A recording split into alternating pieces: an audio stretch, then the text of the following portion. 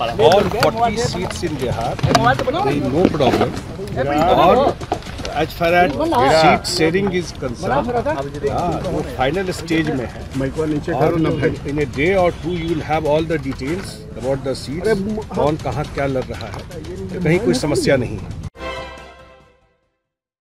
नमस्कार आप देख रहे हैं सिटी पोस्ट लाइव और मैं हूँ आपके साथ हर्षिता प्रताप सिंह 2024 के लोकसभा चुनाव की रणभेरी बच चुकी है जो तारीख होने वाले हैं, वो भी सामने आ गए हैं। सीट शेयरिंग को लेकर अब जल्द से जल्द तमाम दलों को फैसला लेना है, एनडीए हो या इंडिया, सभी को जल्द से जल्द अपना सीट बंटवारा अब करना होगा। इसको लेकर संजय झा का बड़ा बयान सामने आया है जदयू कोटे से मंत्री हैं संजय झा बिहार सरकार में और बड़ा बयान देते हुए कह गए हैं कि एक से दो दिनों में जो सीट शेयरिंग है कौन कहाँ से चुनाव लड़ेगा सभी बातें साफ़ कर दी जाएँगी तो वहीं आपको बता दें राहुल गांधी की भारत जोड़ो न्याय यात्रा पर भी तंज कसते नज़र आए हैं संजय झा क्या कुछ कहा पहले आप वो सुने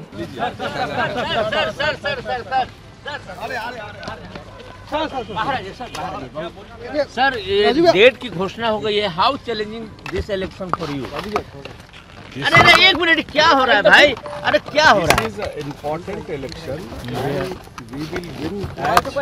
कोई नहीं बन पा रहा all 40 seats in Bihar no problem as far seat sharing is concern वो फाइनल स्टेज में है।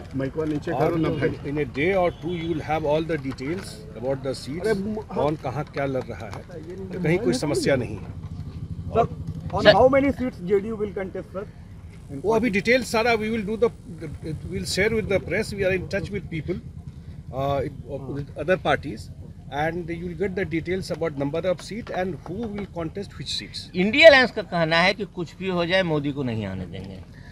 अब इसी पर तो मोदी जी यही बोल बोल करके तो उन लोगों ने अपना ये हाल कर लिया। है और जनता ने तय करेगी किसको आने देना है ये रोक देंगे। पब्लिक ने तय कर लिया है। कि अगला प्रधानमंत्री वही बनेंगे। और बिहार में जो हम लोगों ने इंटरनल फीडबैक भी अपने वर्कर से अन्य से लिया है कहीं कोई कॉन्टेस्ट ही नहीं है बिहार में। राहुल गांधी आज सर बॉम्बे में रैली कर रहे हैं। पीछे करो। वो तो अपना यात्रा ही करते हुए निकल गए। राहुल गांधी हम लोग तो देखे ना आज क्या हाल किए थे। पूरा उस नाम से लेकर के अन्य चीज़ों का। लेकिन मैं इतना ज़रूर कहता हूँ जो हम लोग का गठबंधन है एनडीए गठबंधन है और जिस तरह का काम चल रहा है देश में या बिहार में मुख्यमंत्री नीतीश कुमार जी जो काम कर रहे हैं it is one way election कहीं कुछ है नहीं। सर पेपर लिख हुआ है बिहार में शिक्षक भर्ती परीक्षा का। होगी क्या सर शिक्षक भर्ती परीक्षा का पेपर लिख हुआ है क्या मुझे अभी आइडिया नहीं है। बारह दिन नाराज़ ये है ये बात आप जो लोग इसको हैंडल करते हैं वो बीजेपी के टच में वही लोग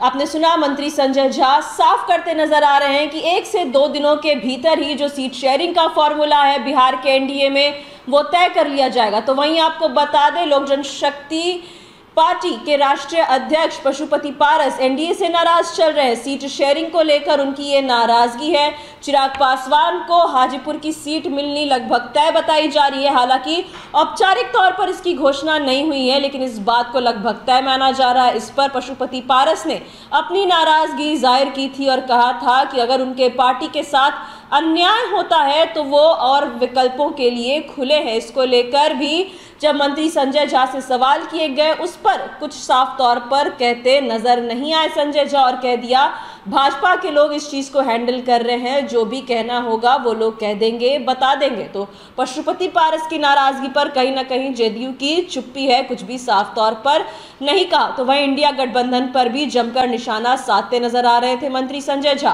क्या कुछ कहा, ये हमने आपको सुनाया। फ़िलहाल इस खबर में इतना ही, आप आगे की खबरों के लिए देखते रहिए सिटी पोस्ट लाइव। इस वीडियो को लाइक करें, शेयर करें और चैनल को सब्सक्राइब करना ना भूलें। धन्यवाद।